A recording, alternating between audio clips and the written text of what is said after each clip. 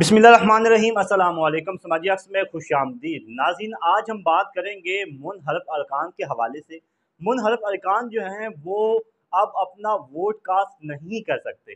इस पर हम बात करेंगे, और क्या हमजा शबाज शरीफ अब वज़ीर अला पंजाब हैं या नहीं हैं, इस पर बात करेंगे। इसके अलावा हम आपको बताएँगे कि मुनहरफ अरकान जो हैं, क्या वो आगे इलेक्शन लड़ सकते हैं? क्या वो पूरी ज़िंदगी के लिए नायल हो चुके हैं या होंगे? क्या सुप्रीम कोर्ट का फैसला होगा? इस, इन सब पर बात करेंगे। लेकिन उससे पहले अगर आप हमारे चैनल पर नए हैं तो हमारे चैनल को सब्सक्राइब कर लें।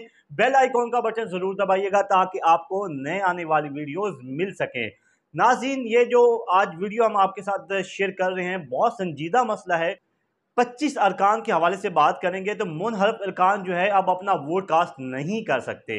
वो अब अपना वोट इसलिए कास्ट नहीं कर सकते क्योंकि सुप्रीम कोर्ट की जानब से एक बहुत बड़ा फैसला रात को आ गया था कि अब जो मुनहरफ अरकान है, वो अब वोट कास्ट नहीं कर सकते। तो इसका मतलब ये हुआ कि जो नंबर्स पूरे किए गए थे पीडीएम की जानब से, पंजाब के अंदर हुकूमत बनाने के लिए वो एक सौ चौवन या एक सौ चौरानवे यानी कि 194 की जो नंबर्स थे, वो 25 अरकान को मिला के पूरे होते थे। लेकिन अब उनकी तादाद जो है, वो 25 कम होने के बाद 172 नंबर्स जो है, वो बाकी रह चुके हैं। और अगर वज़ीर अला पंजाब हमजा शबाज शरीफ दोबारा बनना चाहते हैं तो उनके लिए उनको एक सौ छियासी अरकान की ज़रूरत है, लेकिन अब वो 25 अरकान अपना वोट कास्ट नहीं कर सकते। तो इसलिए अब ना तो पाकिस्तान तारीख इंसाफ जो है, वो वोट कास्ट करवा सकती है एक सौ छियासी और ना ही पीडीएम यानी कि जिसमें वज़ी अला पंजाब हमजा शबाज शरीफ थे, वो अब अपने अरकान जो है पूरे कर सकते हैं। तो अब इस सूरत हाल में जो वज़ी अला पंजाब हैं, हमजा शबाज शरीफ, अब वज़ी अला पंजाब नहीं हैं आइन के मुताबिक। अब इसके बाद जो फैसला होगा, वो होगा कि अब इलेक्शन करवाए जाएँ, उसके बाद पता चलेगा कि वज़ी अला पंजाब जो है वो कौन बनेगा।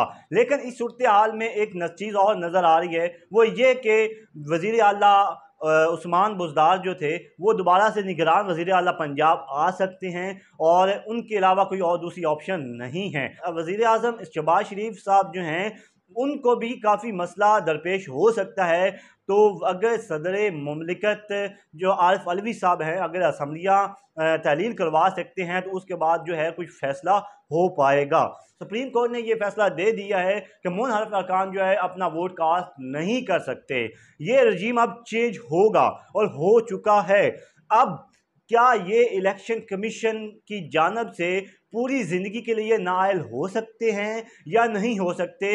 ये आम तौर पर बात तो तजिए के मुताबिक जो की जा रही है, वो यही की जा रही है। इस अरकान जो हैं, वो अब अब आगे इलेक्शन लड़ सकते हैं या नहीं लड़ सकते? तो अगर ये फैसला आ सकता है तो पार्लियामेंट में भी जाके ये फैसला हो सकता है कि हो सके, हो सकता है कि ये जो अरकान है, आने वाले दिनों के अंदर अपना जो सियासत का कैरियर है वो ख़त्म कर चुके हूँ। अब इनके साथ बहुत बुरा हुआ है कि अब एक तो जो सिलसिला था इनका एक हुकूमत छोड़ने वाला पीटीआई की जानब से अब यहाँ पे आए इधर भी जलील हुए और दूसरी जानब अब वहाँ से निक, निकल आए वहाँ से भी जलील हुए।